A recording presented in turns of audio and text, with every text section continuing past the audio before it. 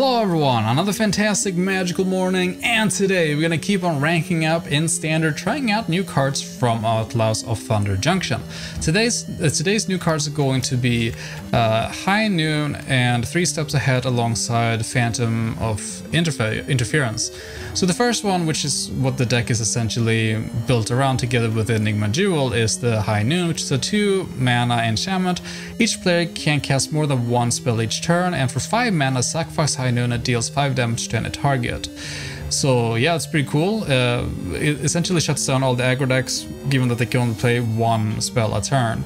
Then we have three steps ahead. We played that in a previous deck. It's it's a spree spell, uh, so one blue mana uh, in base, and then you add either one colorless and one blue to counter target spell, uh, three colorless to create a token that's a copy of target artifact or creature you control, or two draw two cards then discard our card. It's a, it's a fine spell to interact with the opponent on his or her turn, since they can only cast one spell. If you can read, there's not much they can do.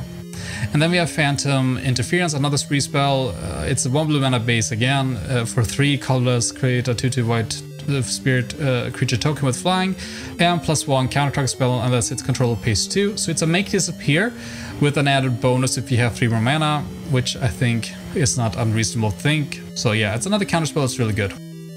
So what is the goal of this deck? So we're playing with the Enigma Jewel, which is a one blue mana artifact that comes into the battlefield tapped. You can tap it for two colorless mana to only spend on activated abilities. Which means if I get this on turn one and you play out uh, Treasure Map or Collector's Vault, you can activate these abilities on the turn they come out on curve with the ability of the Enigma Jewel, which is really cool.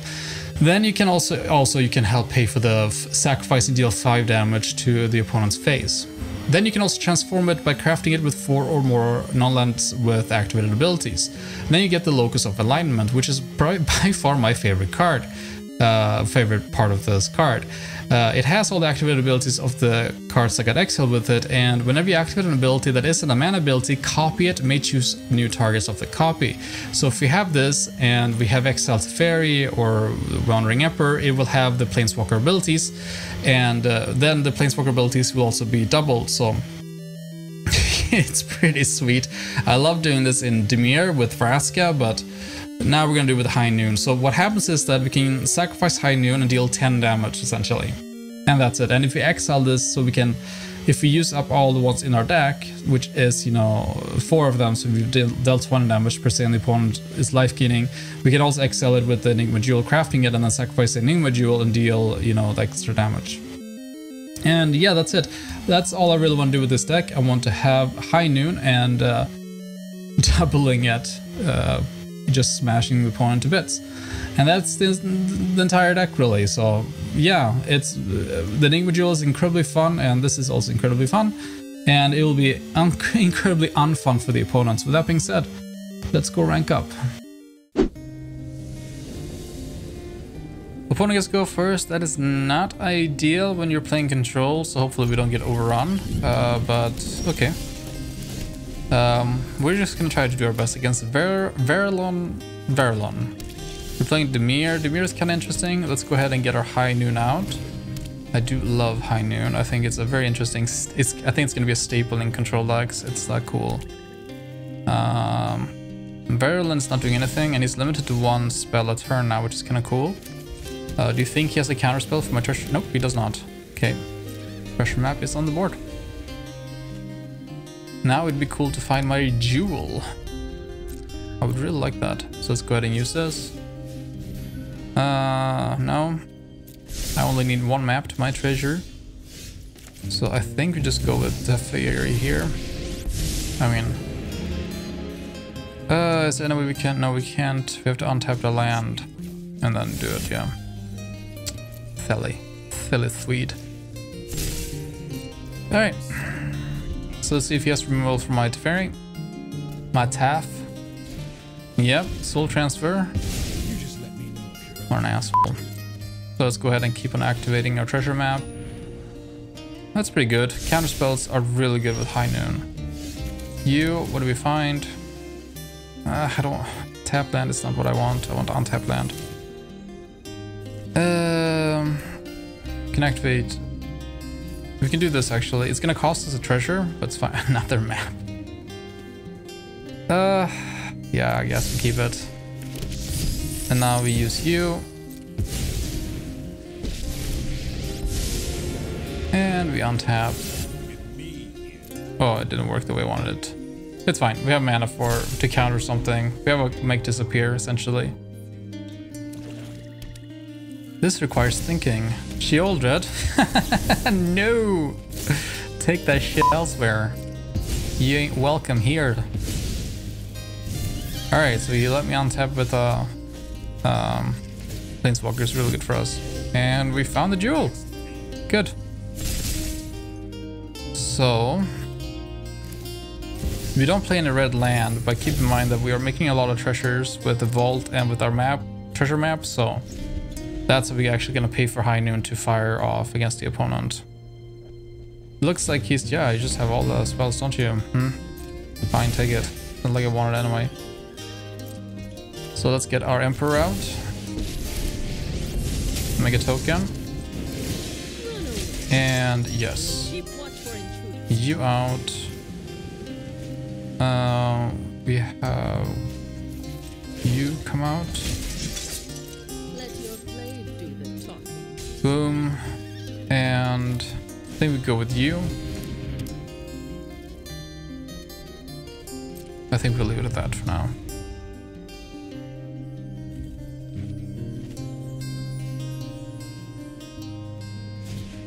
Okay.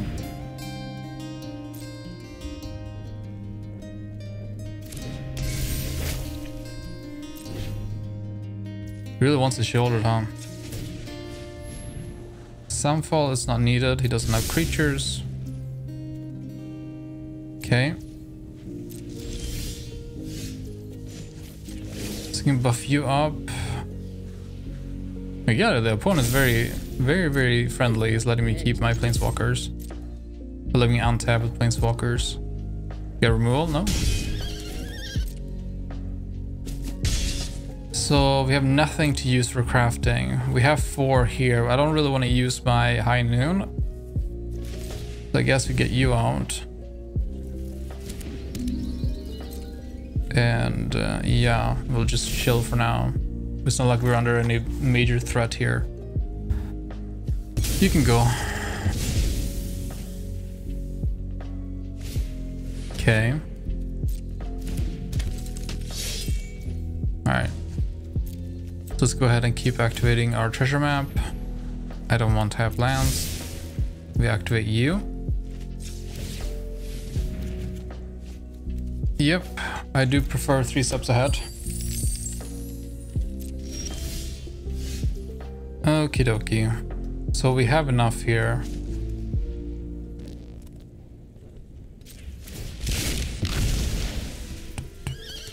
So definitely take you two. We have no ways of getting them back anyway, and we can take the treasures.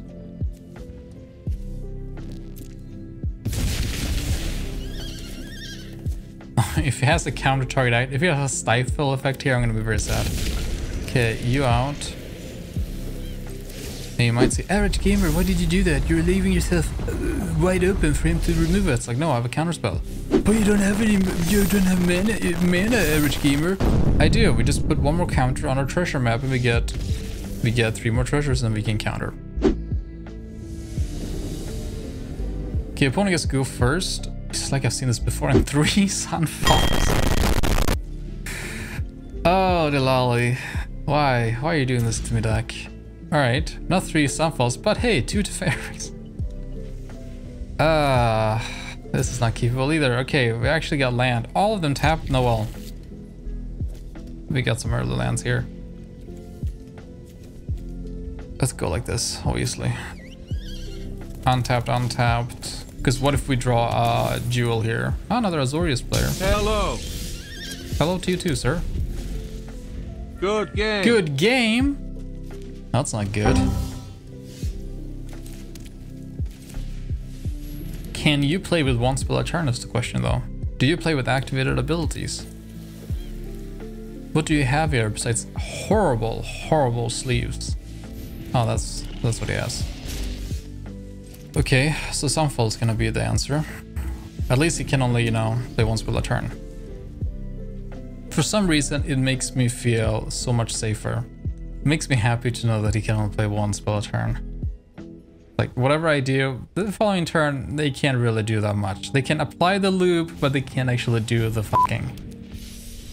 They can do the, they can put some substance to make me go unconscious, but they can't really do anything to me. You know what I'm saying? I'm gonna do this right away, and I'm gonna get rid of this fucking shark. See ya.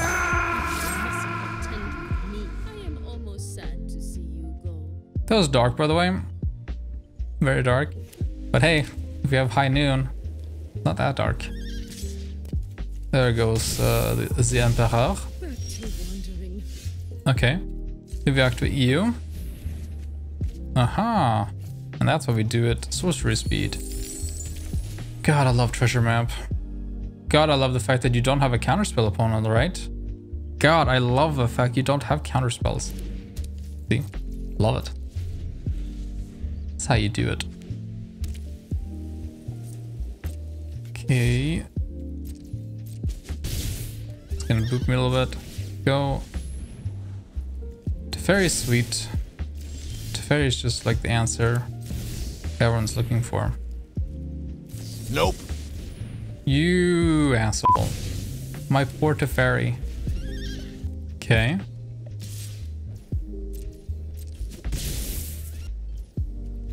One is probably baffled. He doesn't know how to interact with this. Oh, I found you. I found you. You out. You don't have another counterspell. You don't. You you have you've you had your fair share, young man or woman. It's over now. It's my turn to play. Okay.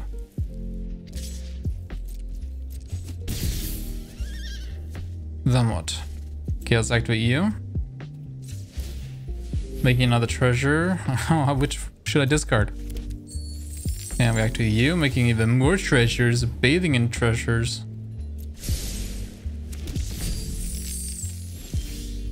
Alrighty.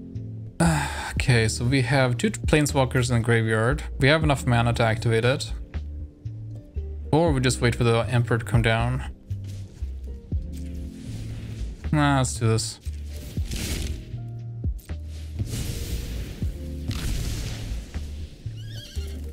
Let's take the planeswalkers and take the two treasures. There we go. And let's go ahead and activate Teferi. Actually, let's do this first. We get the treasures back anyway. That's a double trigger here. Okay, get lost. I don't think I'm gonna, it's on false left. Now we use Teferi and we untap our little vault. Add another land and gain four life. Overpowered says who? Thank you. And let's just do this again, honestly. Alright. Can I get some another high noon? That'd be great. Alright. Get you out. It's not really like... Do you have counter spells, really? What do you have in your hand, Haiku? Haiku. I kind of almost forgot... Oh, he has counter spells that I can pay for. It's like, my turn is so long, he kind of, I kind of forget I'm playing with someone, actually. It's like, oh god, uh, it's a two-player game. I thought I was just doing things here with my activated abilities. I'm so sorry, I forgot you. But how am I supposed to remember you when you're doing damages like this? Okay. Alrighty. So it's activate you. I'll scry twice. Okay. That's pretty cool.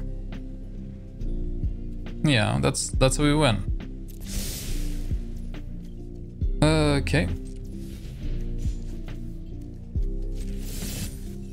Oh, hold on a second. We're getting two abilities, so I might as well do this first. We can untap both the treasure map and the vault.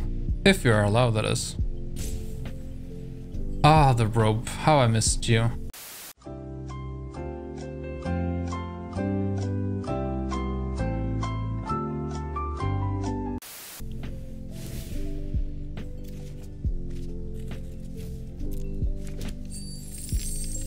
Rose is a red, Violet's a blue. If I sl slice my wrist, it's because of you.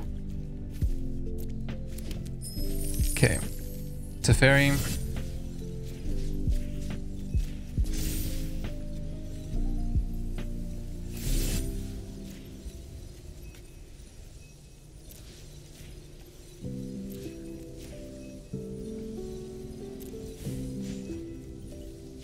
Let's do this too. We'll control it. God, look at all these stacks of abilities. It's beautiful.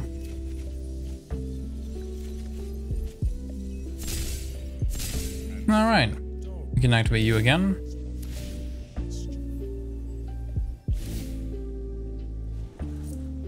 Counter spell's not bad.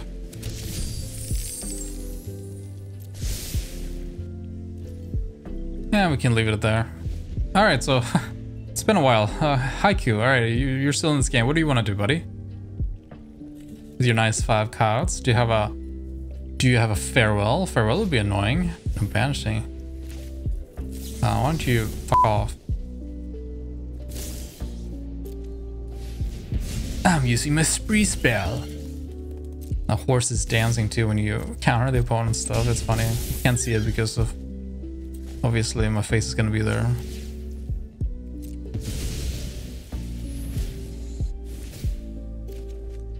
Okay. Alright. So you out. One, two, three, four, five. Do we have enough? I think we do. Yeah, because we have uh, Teferi also. I have no... My math skills are not that right. Such a long game too. All the tap lands.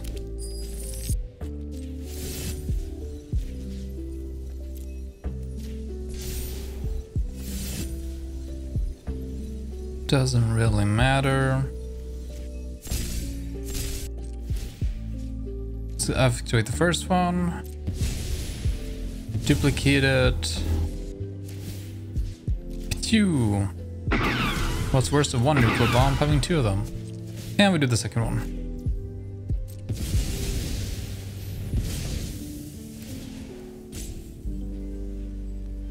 do you actually have like a stifle? You don't. You don't. You did.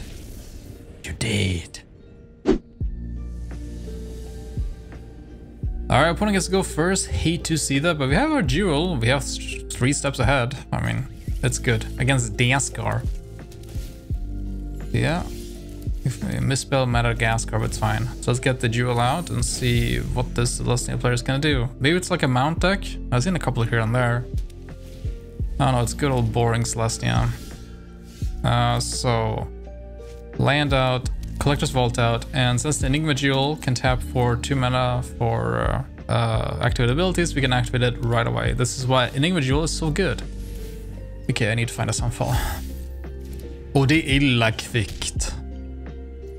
Or how you say in Swedish. I'm starting to lose my ability to speak Swedish. Some of the like redneck stuff is gone from my brain. Right, Daskar, do you have anything to actually interact with my jewel? I don't think so. I'll draw, discard, and make a treasure for free. Okay. Let's do it again. Because we could actually cast... No. We could cast a Sunfall here if we got the correct stuff, but it's fine. We will just... Either we will Emperor or we will counter. Uh...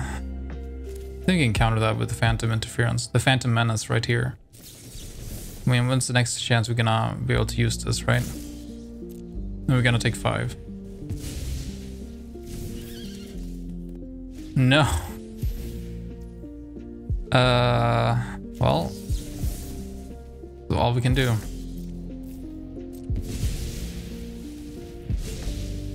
I lost all my treasures. Sad day for average gamer.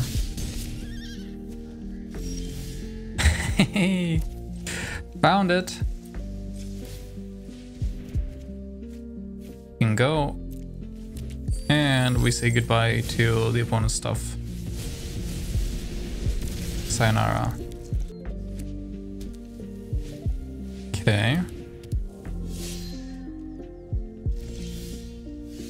Let's activate you again. I think we get rid of the Collector's Vault here. And just hold the Emperor. Or counter.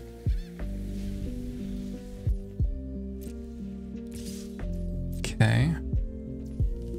We're just actually just gonna take that. In case it plays something here. Okay, doesn't.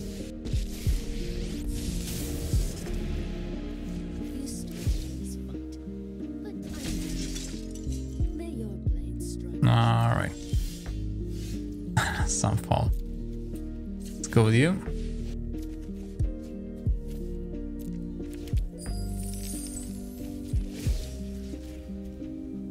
And let's go ahead and slap him in the face a little bit. Just a tiny slap.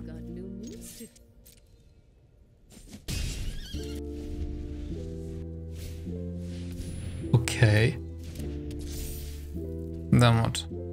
Really, doesn't even attack. It's not what I expected. Let's activate our creature then. Teferi, where you been, buddy? So we can activate you. All these tap lands, man, making me depressed. That on you.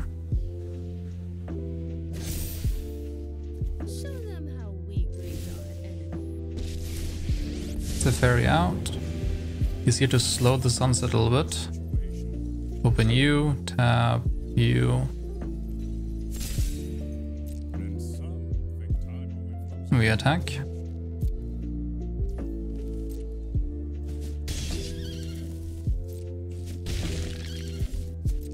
Alright. Just have to protect the counter spells here.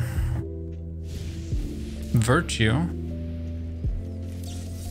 Okay. Counter it. Draw.